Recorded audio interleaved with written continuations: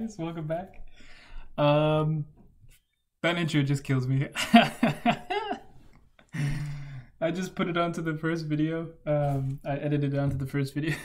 it's just, uh, it's so ridiculous on so many levels, and that's why it's amazing.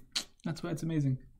Uh, so you're welcome for that uh, amazing piece of of uh, cinematic cinematographic art. Um, yeah. Okay. So I hope you guys have a good had a good break. Um, I did. I was editing videos. So now I'm back, ready to talk about some chemistry. So um, we need to come back and talk about something that we briefly mentioned in the very beginning, um, which are polyprotic acids. I know that this is was just on your mind, and you think to yourself, "Man, what about polyprotic acids? Why haven't we discussed those in more detail?" Well, that's what we're doing right now. Okay, polyprotic acids. Um, how do we treat, first of all, how do we treat the first hydrogen that comes off? And also, how do we treat the second hydrogen that comes off? If we have something like H2SO3,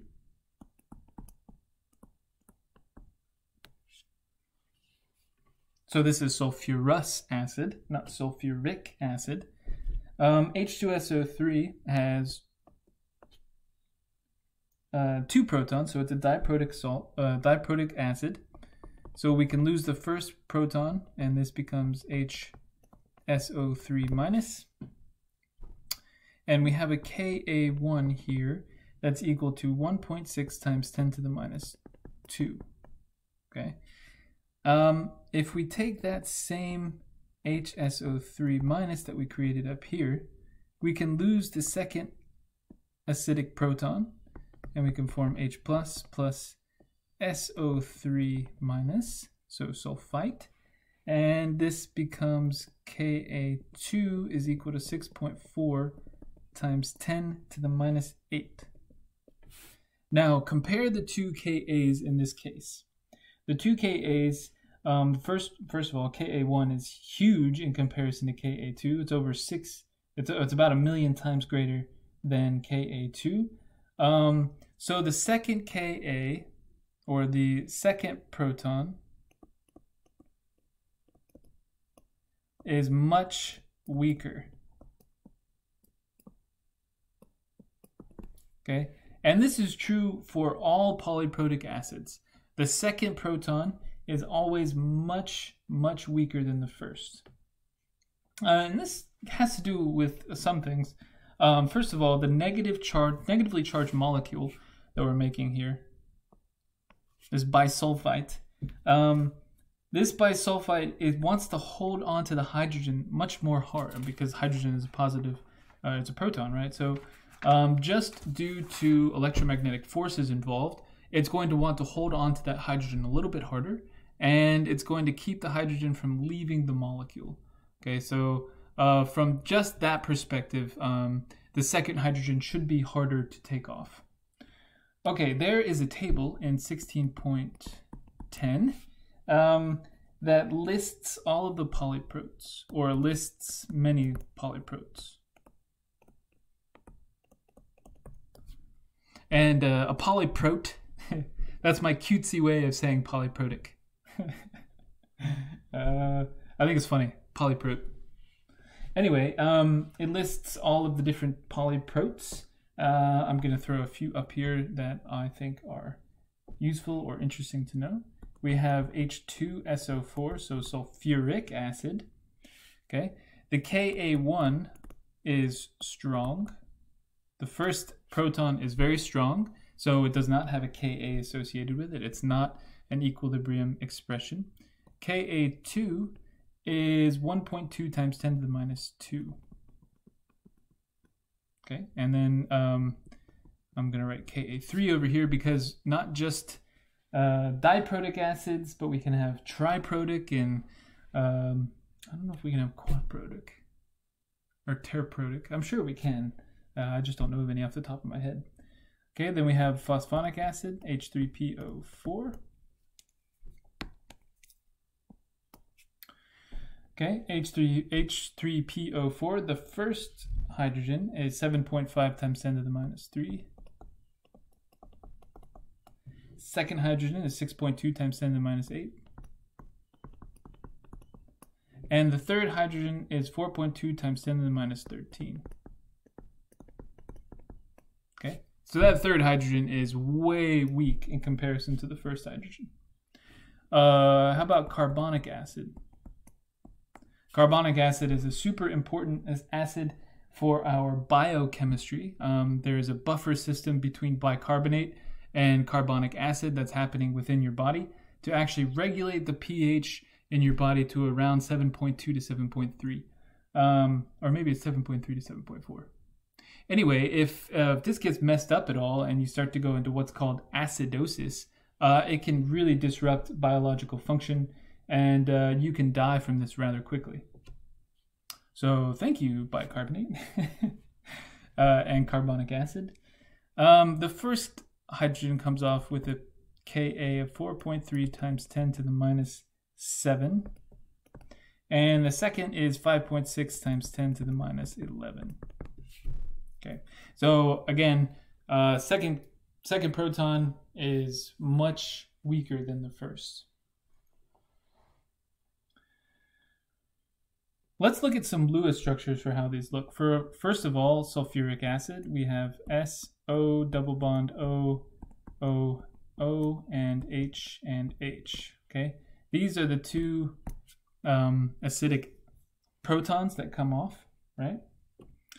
Phosphoric acid, we have P, double bond O, OH, OH, and OH. These are the three acidic hydrogens that come off. And for carbonic acid, we have carbon, double bond O, OH, OH. Okay, so you guys are sensing a theme here, right? Um, the, all of these have a central atom that has double bonded to oxygen in some way and then has OH groups coming off of the side. Okay, and these are a special type of acid that we'll we'll get to that in a little bit. Um, first of all, let's let's let's get into the the meat and potatoes more or less of how to deal with a polyprotic acid in solution. Um, the the idea is that we want to treat polyprotics or polyprotes as if only the first hydrogen contributes to H3O plus. In general,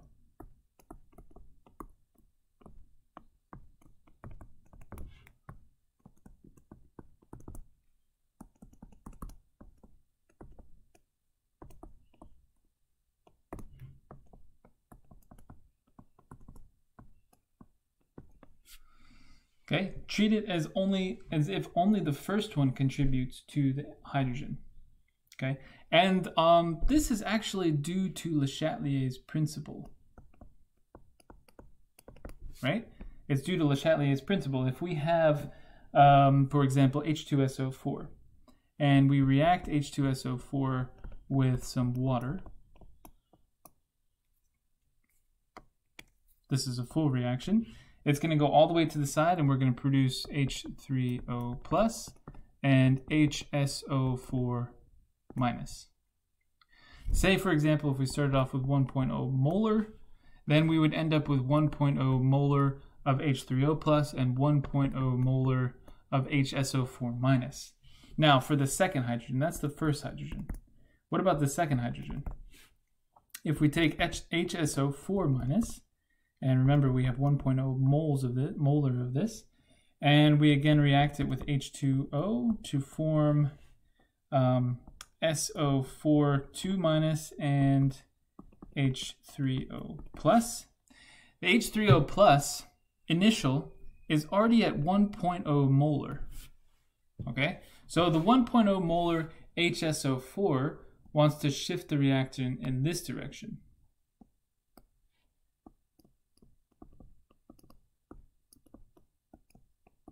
Right?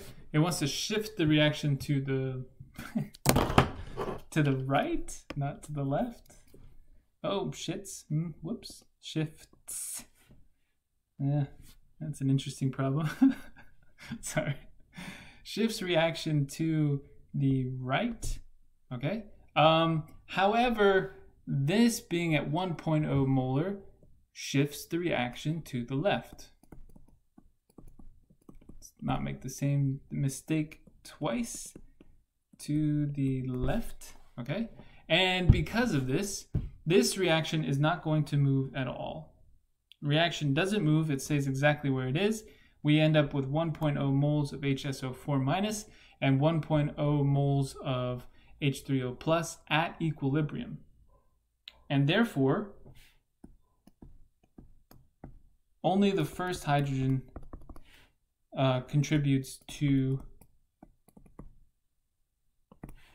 the H3O plus concentration. Okay, so even though it's polyprotic, um, treat this uh, usually when you make any solution of a polyprotic, you want to treat it as if only the first hydrogen matters. Now, there is an example, and there's an exception.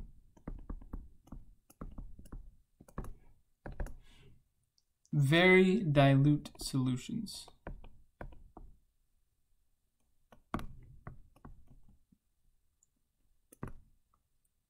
of H2SO4 are um, actually affected by the second proton. Okay. And uh, there's an example of this in the book. Uh, 16.18. Okay. So check out that example. It shows you that when you have a super, super, super dilute solution of H2SO4, actually it's not that dilute. Um, yeah, it's just somewhat, it's, it's pretty dilute, but it's not like super dilute. Anyway, um, if you go through and you look at that, you'll see that the second hydrogen actually contributes a little bit to the pH.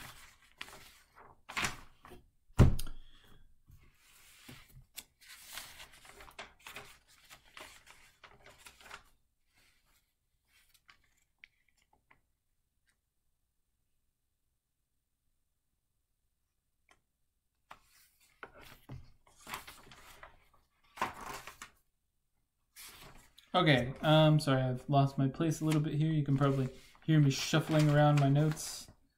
Um, yeah. Let's go back to one of the initial uh, questions we had was how do you uh, determine the strength of an acid? Now, we, we figured out that we can determine the strength of an acid using the pH of the solution or the Ka um, the Ka of the acid if it's a weak acid. Okay. Um, but I want to I want to revisit this because I want to start to answer the question of why are some acids strong and other acids weak? Okay. Not just the how to determine the strength of an acid, but why are certain acids strong and why are certain acids weak? Um, we have two categories of acids. Okay, we have binary acids. Okay, binary acids are things that look like H attached to Y. For example, HCl, HBr, HF, etc., etc. And we also have something called an oxyacid. Oxyacids are not to be confused with oxymorons. Um, they are quite a bit different things. Sound same, but they're different. Oxyacids um, are things like when you have an H attached to an O that's attached to some Y group that is then attached to other things. Okay, for example, um, H2SO4, um, HClO4, etc., etc. Okay, these are all oxyacids. And so we need to uh, talk about each of them separately because their strength is dependent on their structure. Okay, for binary acids, what determines the strength and why are certain binary acids strong and others are weak. Okay, number one, the bond between H and Y must be polar.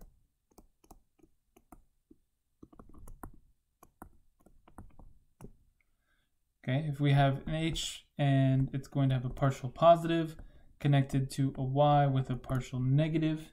Um, and if we look at the electron density here, right, if we have H connected to Y, um, the electron density is going to be almost entirely um, centralized around this more electronegative component.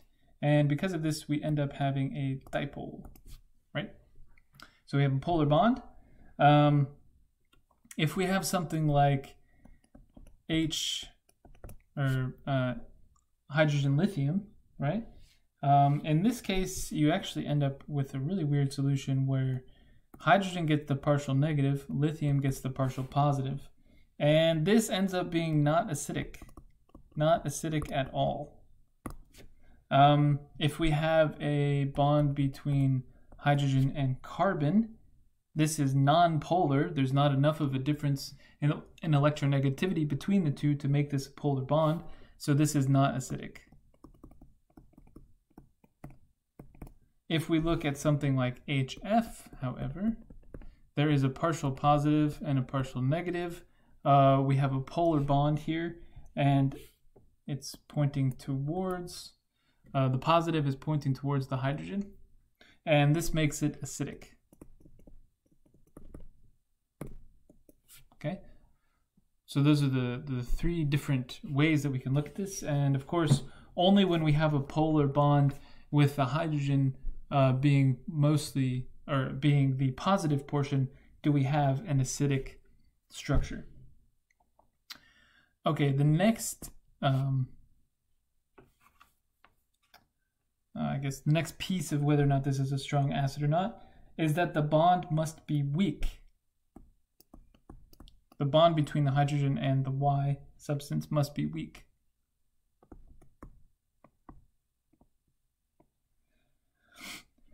Okay, and this is true for strong acids.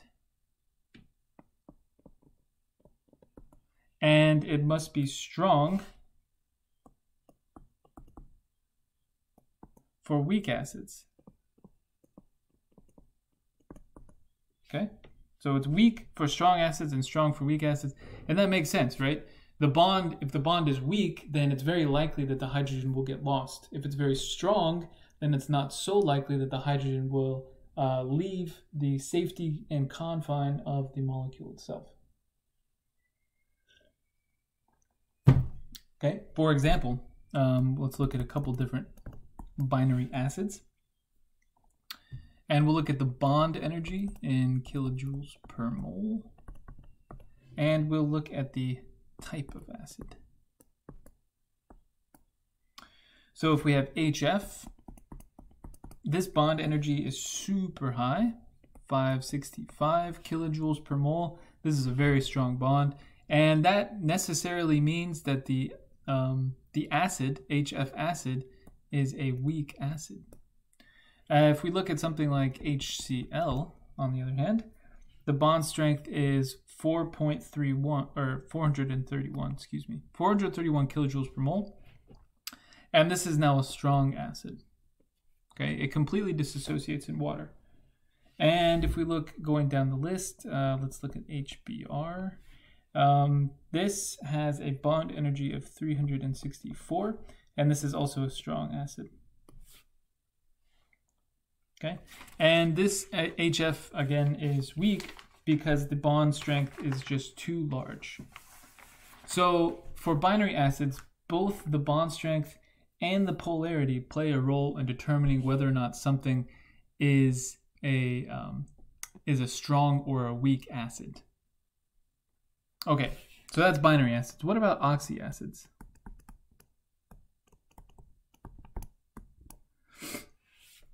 Oxyacids have this general structure, HOY, and the Y can be connected to any number of things. Um, the two factors that are affecting the acid strength for an oxyacid are number one, the electronegativity of Y. Okay, electronegativity of Y, so how much Y wants to gobble up the electrons. And number two, the number of oxygen atoms bound to Y.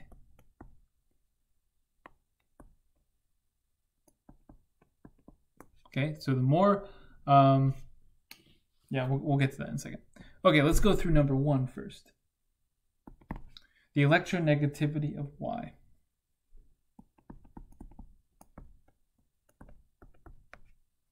Electronegativity of Y. Um, let's make a, let's see here. Let's do a bunch of different Ys. Okay, so we'll have different Y groups here, and then we'll have the Y electronegativity, and then over here we'll have the Ka of the hydrogen associated with this acid. So if we have H bonded to O bonded to iodide, this has an electronegativity of 2.5, iodide does. And the corresponding Ka for this acid would be 2.3 times 10 to the minus 11. Next, if we go to HOBr, the electronegativity of bromine is 2.8, slightly increased. And we see that the Ka is 2.0 times 10 to the minus 9. Next, if we go to uh, chlorine as our Y group, in this case, the electronegativity jumps up to 3.0, and we have a Ka of 2.9 times 10 to the minus 8. Okay, so we see as we move down, the acid strength is increasing. So the, the strength of the acid increases with the electronegativity of Y. And this just has to do with the fact that the more electronegative Y is, the more it's going to gobble up the electrons from the oxygen, right? And the more it gobbles up the electrons from the oxygen, the more the oxygen is going to want to gobble up the electrons from the hydrogen. And that just makes that bond between the hydrogen and the oxygen that much weaker, and it allows the hydrogen to escape more readily. Therefore, it is more acidic. Okay, so the more electronegative Y,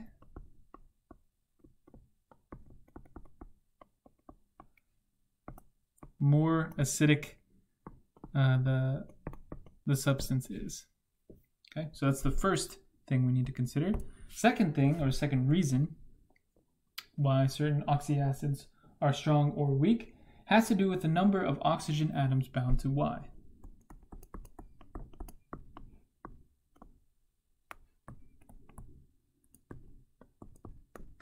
Okay, the number of oxygen atoms bound to Y, uh, this also affects. And this has to do, again, with the fact that electrons are going to be gobbled up away from the hydrogen. So if we have some hydrogen that's attached to an oxygen that's attached to Y, and then say we have a bunch of oxygens here, um, I guess these don't really need to be double bonds, oops, okay, something like that. Um, these oxygens are all going to pull electrons away from Y. Okay? And because they're pulling stuff away from Y, Y is going to want to pull electrons away from the oxygen.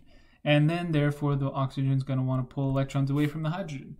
You can see how it's kind of like a trickle down effect um, where the guy on the bottom, poor little hydrogen on the bottom, just gets completely abused and all of his electrons get taken away from him. So if you look at a structure like HClO4, we have H attached to oxygen attached to um, chlorine, which is double bond oxygen all around. Whoops. Okay, so this has three oxygens attached to the Y, and this is a very strong acid. Next, if we look at HClO2, this looks something like H bonded to O bonded to chlorine bonded to oxygen. Okay, so it has one oxygen group bound to Y. And this Ka is 1.1 times 10 to the minus 2. And if we have something like HClO, um, this looks like HOCl, so this has zero oxygens Uh, this is 2.9 times 10 to the minus 8.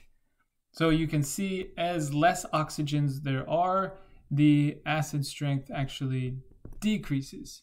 And this again has to do with the fact that the oxygens are pulling electrons away from this Y, which are then pulling electrons away from the oxygen. Um, and uh, yeah, and then the hydrogen oxygen bond is weaker, and therefore the acid itself is stronger. So if we have an increase in the number of oxygens bound to Y, we have an increase in the strength of the acid. Okay, so the more acidic something is, the more uh, the more high, excuse me, the more oxygens that are bound to Y, the more acidic something is.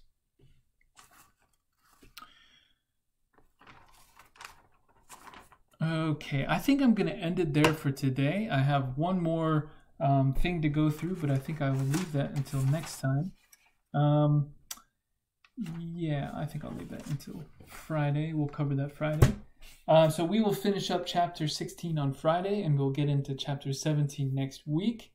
Um, I plan on having a Zoom meeting with all of you, uh, kind of like a, a, a coffee social. Bring your own BYOC, bring your own coffee. Um, just kind of like to to talk to you guys and to see you guys again. I haven't seen you in you know many months, and it would be it'd be nice to kind of have a little uh, little gathering. So um, look for that on Canvas. I think I'm going to plan that for Friday, um, but I will put something up on Canvas to let you know exactly when.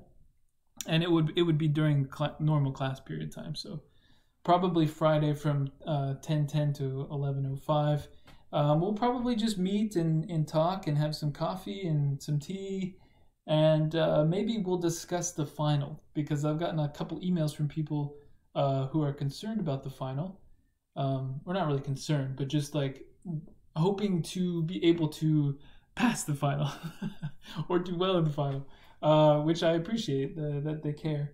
Um, so yeah, I mean, we can talk about the final. We can talk about what we're going to be able to cover in the class. You know, we can talk about normal things that we would we would talk, talk about in the class that uh, we just haven't been able to do since we are stuck in our own homes.